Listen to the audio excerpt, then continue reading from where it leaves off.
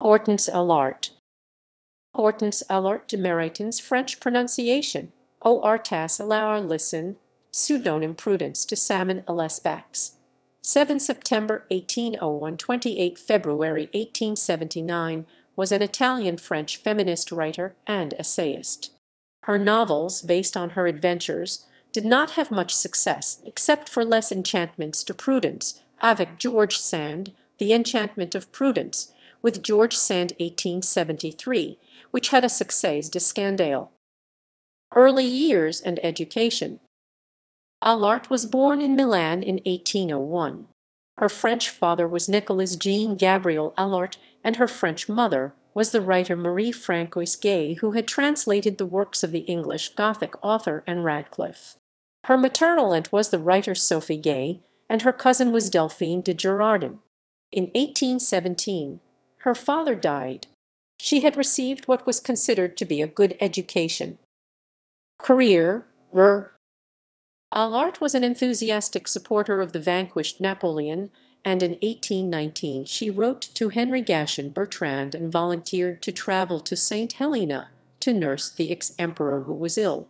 Bertrand later offered her a job as a governess and commented that he thought that Napoleon would have fallen in love with her if she had been successful in traveling to be his nurse. Napoleon and her mother died, leaving her an orphan at the age of twenty. For some two years she worked as a governess in the household of General Bertrand, where she met the Comte de Sampaio, a Portuguese gentleman. She became his mistress, and in 1826 gave birth to his son Marcus. Sampaio abandoned her before she gave birth.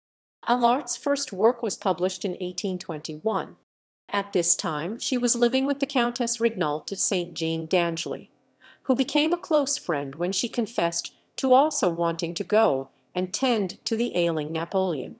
The Countess introduced Allart to two suitors the economist Hippolyte Passy and the poet Pierre Jean de Beranger. Beranger and Passy were to be lifelong friends.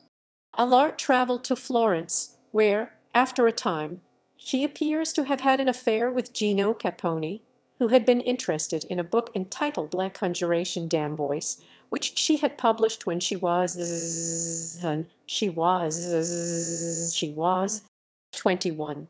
Another early work of hers was a volume of letters to George Sand, with whose moral and religious principles she much sympathized, and who later on pronounced her to be one of the glories of her sex. Allart was a lifelong lover of George Sand, but they had an open relationship. In 1829 Allart was in Rome on a visit to her sister. There she met Francois René de Chateaubriand, and they became lovers. Within a few weeks he proceeded to Paris, and Allart followed him there, taking an apartment in the Rue d'Enfer. In England she met Henry Bulwer Lytton, afterwards Lord Dalling, and they became lovers, which Allart told Chateaubriand on her return, under notions of probity, and being faithful in her temporary unions. In 1843 she married the French aristocrat Napoleon Louis Frédéric Corneille de Méritens de Malvézy, but she left him the following year. Allart, a notable figure in Paris intellectual circles, lived several miles outside Paris with her books, which she called her true lovers. She did not recommend that women should abandon men. In fact, in her novel Septimia, her heroine enjoys her male lovers, but is not defined by them but by her lack of interdependence, her intellectual maturity, and her children. This was the life that Allart lived, surviving without having to rely on a supportive family. She argued that women needed political reform of their lot, and if this meant that women needed to abandon the two-parent family, then this would be acceptable.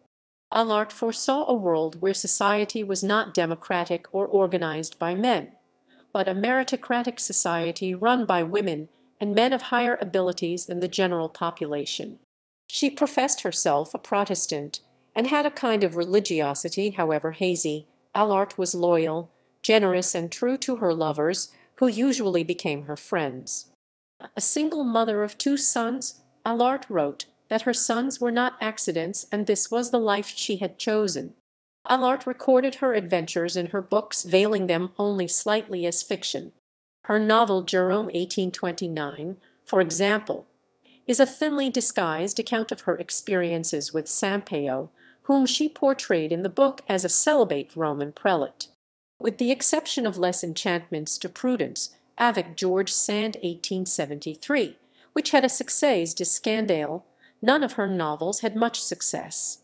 Allart died in Montlhéry in 1879, and is buried in the cemetery at Bourg la Reine. Selected Works